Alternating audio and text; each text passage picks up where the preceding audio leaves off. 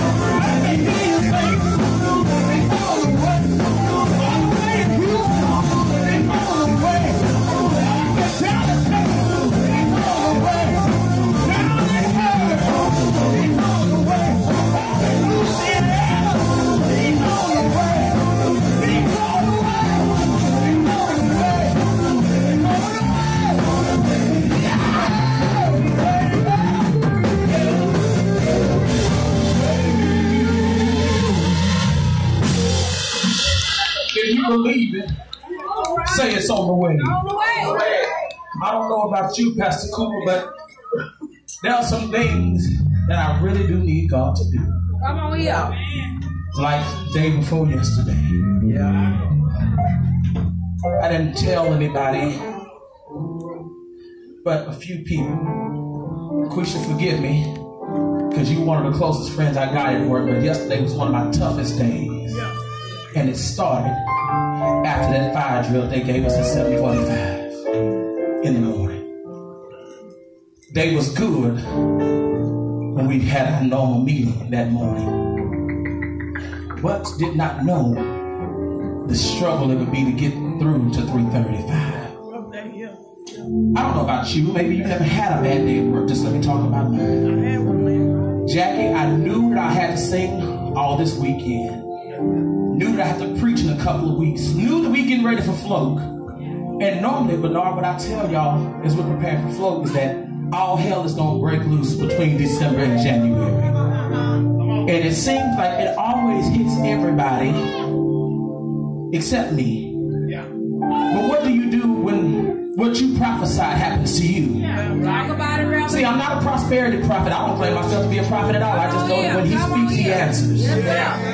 So I found myself being tested on your song, trying to do right. Quartet singers, third.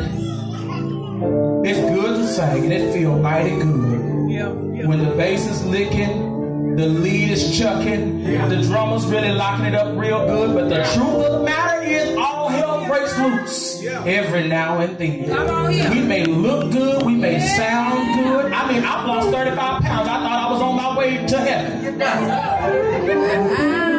Blood sugar been regulated and everything. Blood pressure medicine. I can push that to the side now. But it seemed like when everything was going good, Yeah, yeah. Yeah. Come on now. something happened. And I'm just, I, I don't have a sad story to tell you. All I'm telling you is that life is real after the quartet is over. Yeah, yeah, yeah. I said life is real Come on here, after the quartet is over. Yeah. I mean, we can we can sing, we can dance, we can shout. I mean, we can go to Waffle House. It's over. I'm just prophesied that the Lord is going to bless Brian. But Waffle House, Stephen should have waved his hand right there. But it just really gets real. But I encountered somebody that watches me every day at work, Yeah, yeah. and they knew what had transpired. And they said, I haven't seen you do anything differently than you would have done. She said, That's how I know what you do is for real. I didn't do that to boost myself up, but it helped me to keep doing right when somebody recognized that I had done right. I said, It helped me to keep doing right. Yeah. when somebody recognized. That's it. I called one of my good friends and I told them some things that had transpired. And they said, Well, why didn't you cuss them out? I said, That's not my character. They said, Well, why didn't you tear something up? I said, That's not my character. I work in a behavior classroom, but most of the stuff I have to teach them, I got to use it first. Come on here. they talked about coping strategies. The only thing that I did differently than I would have normally done is I stepped into somebody else's office and prayed. Yeah, yeah. They just so happened to be going to a doctor's appointment, so I went in there and prayed for myself and their doctor's appointment. Yeah. Life has its challenges, but God is my champion. Come on here. Life has its challenges, but God is my champion. How do I know that? Because He said in His Word that we are more than conquerors. Yes, sir. Conquerors overcome one thing, but champions, you ain't trying to help me. I said, champions conquer it all. Yeah. I'm not the champion, but I got somebody living in me. on here. Yes, Yes, Lord. It wasn't my first time going through, but it was the anniversary of some trials and tribulations that I had once had. This year made 10 years that I lost the man that raised me. Deacon John Henry Williams. it made just a few years that I had buried the woman that raised me, my grandmother. The dates kind of sound a little familiar to me. November 10th, November 30th, December 7th, December 5th. All of that is significant to me. And so I wasn't depressed. I said, God, I feel real good in this season this time. Not knowing that on December 10th, Wow. Yeah. I would hit another challenge. Yeah. I said, man, if if they had a called me 10 years ago, when I had somebody that would have bailed me out of jail, Yeah, yeah, yeah. Wow.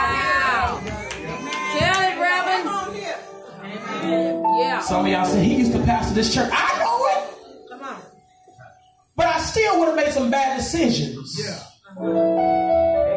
But I challenged myself, not only before my group, not only before my community, not before my church, but for my own self. That's right. That's right. Because after all this is over and I close my eyes for the last time and my tongue is glued to the roof of my mouth, I want to be able for St. Peter to easily say, Your name is on the list. Yeah. Right. My former pastor would say it's going to be some mess at the gate because some people that thought that they was on the list. Yeah. Yeah. The Bible says that the righteous going to do what? Scarcely. Scarcely. That's the word. That's the word. And if I don't make it but by the skin of my teeth, I'm determined to make it. So I'm gonna bring Philip so he can sing his song. I ain't got no sad story to tell you. What I can tell you is that the Lord kept me because I wanted to be kept. Yeah. You did the right thing there. You had a little, little bit louder, it would have been all right with me. I said the Lord kept me. Wanted